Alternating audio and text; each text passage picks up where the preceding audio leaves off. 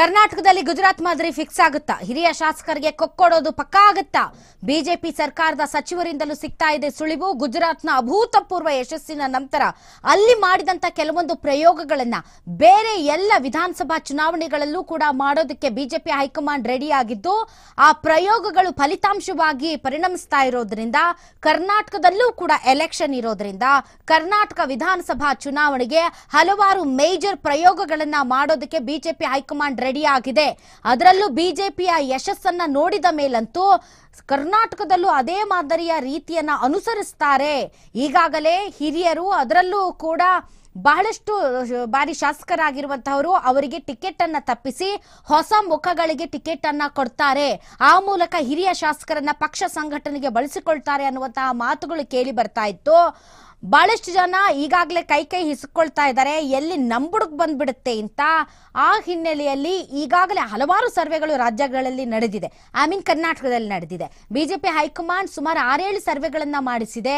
ನಿಷ್ಕ್ರಿಯರಾಗಿರುವಂತಹ ಶಾಸಕರು, ವಯಸ್ಸಾಗಿರುವಂತಹ ಶಾಸಕರು ಅಥವಾ ಅವರಿಗೆ ಬದಲಿಗೆ ಬೇರೆ ಯಾವ ಹೊಸ ಮುಖಕ್ಕೆ ಟಿಕೆಟ್ ಕೊಟ್ಟರೆ ಗೆಲ್ಲಬಹುದು ಅಥವಾ ಈಗಿರುವಂತಹ ನಾಯಕರನ್ನ ಸ್ವಲ್ಪ ನಿಧಾನವಾಗಿ ಬದಿಗೆ ಸರಿಸಿ ಹೊಸ ನಾಯಕತ್ವವನ್ನು ಹುಟ್ಟು ಹಾಕೋಕೆ ಬೇಕಾದಂತಹ ಕೆಲವೊಂದು ರೂಪುರೇಷೆಗಳನ್ನ ಬಿಜೆಪಿ ಹೈಕಮಾಂಡ್ ಈಗಾಗಲೇ ರೆಡಿ ಮಾಡ್ಕೊಂಡಿರೋದ್ರಿಂದ ಕೆಲವು ಶಾಸಕರಿಗೆ ಈಗಾಗಲೇ ಭಯ ಶುರುವಾಗಿದೆ. ಅಂಡ್ ಅವರೆಲ್ಲರೂ ಕೂಡ ಗುಜರಾತ್ನ ಚುನಾವಣೆಯನ್ನ ಎದುರು ನೋಡ್ತಾ ಇದ್ರು, ಹಿಮಾಚಲ ಪ್ರದೇಶದ ಚುನಾವಣೆಯನ್ನ ಎದುರು ನೋಡ್ತಾ ಇದ್ರು.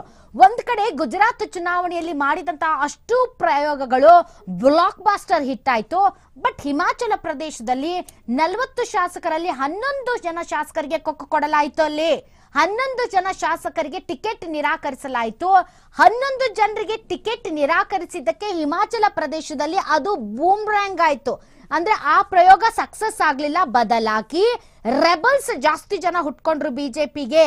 ರೆಬಲ್ಸ್ ಜಾಸ್ತಿ ಜನ ಹುಟ್ಕೊಂಡಿದ್ರಿಂದ ಅದು ಫಲಿತಾಂಶದ ಮೇಲೆ ಪರಿಣಾಮ ಬೀರ್ತು. ಹೀಗಾಗಿ ಸೀಟ್ಗಳ ಕೋತ ಆಯ್ತು.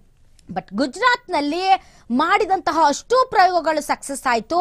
ಹಿಮಾಚಲ ಪ್ರದೇಶದಲ್ಲಿ ಮಾಡಿದಂತಹ ಪ್ರಯೋಗ ತಿರುಗೇಟು ಕೊಡ್ತು ಸೀಟ್ಗಳನ್ನು ಕಳ್ಕೊಂಡ್ರು. ಹೀಗಾಗಿ ಎರಡೂ ರಾಜ್ಯಗಳು ನಮ್ಮ ಕಣ್ಣ ಮುಂದೆ ಇದೆ. ಒಂದು ಕಡೆ ಗುಜರಾತ್ ಇನ್ನೊಂದು ಕಡೆ Himachal Pradesh.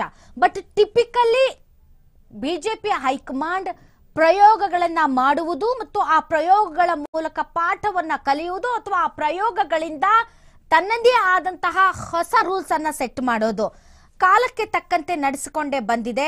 ಈಗ ಯಡಿಯೂರಪ್ಪನವರ ನಂತರ ಒಂದು ಹೊಸ ನಾಯಕತ್ವಕ್ಕೆ ಸಂಬಂಧಪಟ್ಟಂತಹ ಪ್ರಶ್ನೆಗಳು ಎದ್ದಿರುವುದರಿಂದ ಯಡಿಯೂರಪ್ಪನವರು ಇರುವವರೆಗೂ ಒಂದು ಹೊಸ ನಾಯಕತ್ವದ ಬಗ್ಗೆ ಯಾವುದೇ ಪ್ರಯತ್ನಗಳು ನಡೆಯದೇ ಇದ್ದುದರಿಂದ ಯಡಿಯೂರಪ್ಪರವರನ್ನ ಬದಿಗೆ ಸರಿಸಿದ ನಂತರ ಯಾರು ಲೀಡರ್ ಅನ್ನುವಂತಹ ಒಂದು ವ್ಯಾಕ್ಯೂಮ್ ಕ್ಲಿಯರ್ ಆಗ ಕ್ರಿಯೇಟ್ ಆಗಿರೋದ್ರಿಂದ ಪದೇ ಪದೇ ಆ ತಪ್ಪು ಮಾಡುವುದು ಬೇಡ ಅಂತ this is the perfect time ಅಂತ ಚುನಾವಣೆಗೆ ಐದಾರು ತಿಂಗಳು ಬಾಕಿ ಇರೋದ್ರಿಂದ ಹಲವಾರು ಎಕ್ಸ್ಪಿರಿಮೆಂಟ್ಸ್ ಮಾಡೋದಕ್ಕೆ ಈಗ ಬಿಜೆಪಿ ಹೈಕಮಾಂಡ್ ರೆಡಿ ಆಗಿದೆ.